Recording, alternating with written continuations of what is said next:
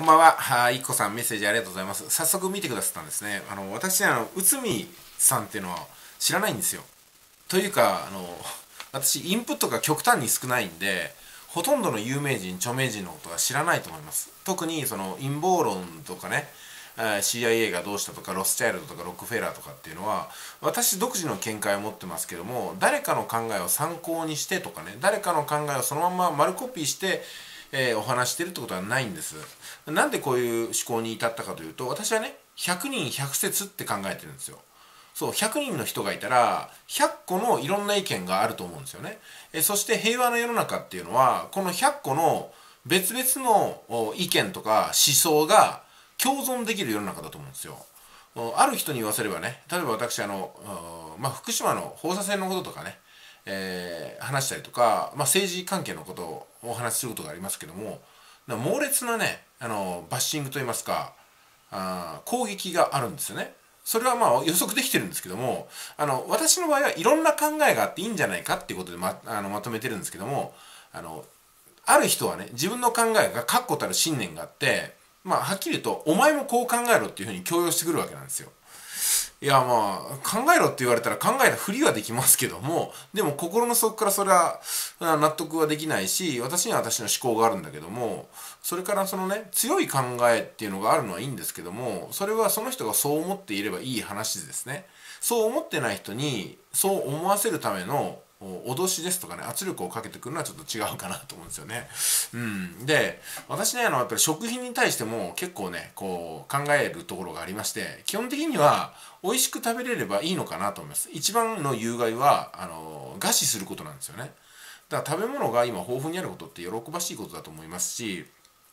であるねまあこういう言い方したらまたねあの人を攻撃するみたいな形になりますけども健康にものすごくね注意してる方の食卓ってもう楽しくないし美味しくないんですよ。あの素敵なものがいっぱい並んでるの分かりますけども、うん、脂身もなかったりねパサパサしていたりとか色合いも悪いし盛り付けも ちょっとね変だしうわちょっと食べたくないなとか思いながらも、うん、美味しいでしょって言われたら美味しいと言うしかなくってまあこれもねあの答えを強要されてるようなもんなんでいやはっきり言ってもこれまずいですよみたいなことね。あの言いにくいですよね。さすがに正直に生きていきたい私でもね。あの目をキラキラさして美味しいでしょって言われたら美味しいですっていう風に 答えなきゃいけないのかなと思って。正直に言っていいですかとか言って何回も口からね出ちゃいそうになりますけども。ここかここまで出そうです。ここまで出たらダメですね。まあ形なんですよね。で私あの朝カップラーメンを食べるやつとかお肉を食べるやつとかね動画放送してると思うんですけどもあれはね結局カップラーメンもそれはね100食を全部カップラーメンはさすがに体に悪いと思いますけどもそれは別に同じものを100回とも100回同じものを食べれば何でも悪いと思うんですよ。でカップラーメンも別に週に1回ね1杯ぐらい別にどうってことないと思います。しもっと言えばカップラーメン1杯で健康を壊すような体を作ってるんだったらそっちの方が問題だと思うんですよ。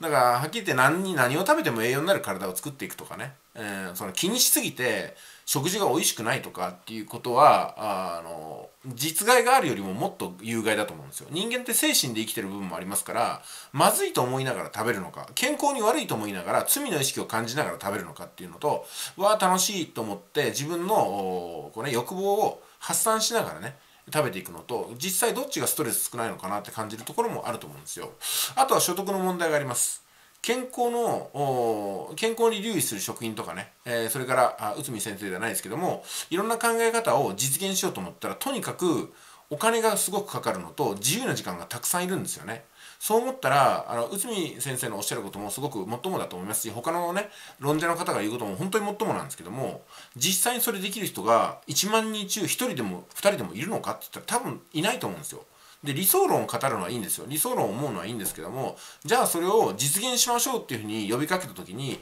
実現する方法は括弧に任せられるわけなんですよね。それはちょっと厳しいなと思うんですよ。うん、健康食品にしてもいいものを食べたいと思ってもいいものは高いわけなんですよ基本的に。1食5000円とか1万円とかっていうのを毎回かけれるかって言ったらかけれないんでしょうがなくコンビニ弁当とかスーパーのニーキュッパーとか牛丼とか食べているのにそのね300円とか500円で切り詰めてやってるところにあのお前は洗脳されてるとか体に悪いもの取ってるとかって言われてるもうね立つ瀬がないというかもう本当にねめちゃくちゃになっちゃうっていうかね 気の毒だなと思うんですよ。やっぱりその300円500円のものを食べるフェーズもあると思いますしそういう時期もあると思いますしね。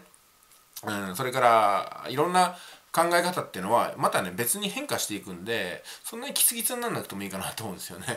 はいそれから既得権益なんですけども既得権益は確かにね私はね私はぶち壊していきたいなと思います。でも私がね既得権益ってものを長く見た時っていきなり既得権益ってないんですよ。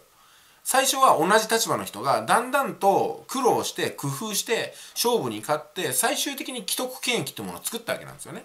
でそこまでたどり着くまでに諦めた人とか支配されることの方を自分が頑張って支配者になる方よりも既得権益を持つことよりもそうならずにまあそこそこ自由が認められるんだったらお前リーダーやっていいよとかねお前決定権者やっていいよっていう風になってしまうこれは実はね民主主義の原理なんですよ既得権益ができるのは。うん、だから既得権益の全部が悪いというわけではないです。悪いわけではないけども、私自身に不利なんで壊したいと思ってるだけなんです。多分ほとんどの人もそうだと思います。ほとんどの人も既得権益が憎いというよりも既得権益が自分に不利をもたらしてるから壊れ壊したいだけであって既得権益者に個人的に恨みはないと思うんですよねそういうことも私はねあの忘れずにいきたいと思うんですよね、うん、で結局既得権益を壊してえー、自分たちが何がしかのに決定権を持った瞬間にそれが既得権益になってるわけですから。で既得権益が何で生まれるかっていうとこれね本当にね何度も言ってますけども自分が責任を取るっていう立場を表明する人がいないからなんですよ。で、えー、政治にしても何でもそうですけども誰かに任せるんですよね。こうなればいいのにああなればいいのにっていうふうに思うんですけども自分がそうしようとか自分がこうしようと思って世の中を動かすための階段を上るってことをせずにどっかの頭がいい人とかどっかの勢いのある人どっかの元気な人がやるんじゃないのっていうふうに思ってるのが既得権益を作るわけなんですよね。だから民主主義の最悪の機能っていうのは既得権益を必ず作るってことなんですよ。民主主義ってね。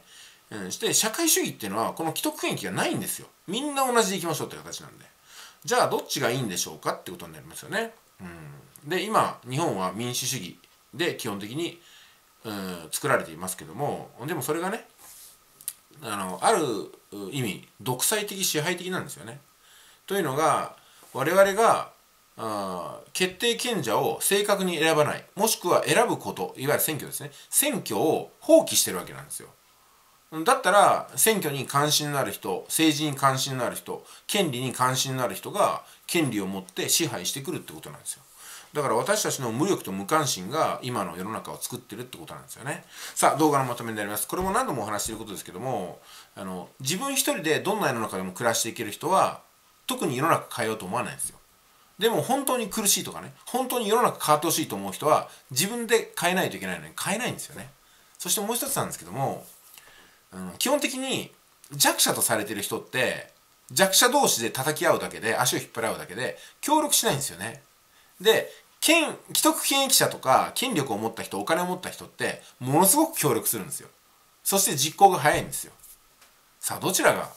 世の中のためになってるのかなってことを考えると大きなパラドックスを感じないということなんですよね。うんどうしましょう？みたいな感じで、いろいろと考えながらね、いろいろとつまずきながら一緒に学んでいければなと思います。いくこさん、ありがとうございました。またメッセージを送ってください。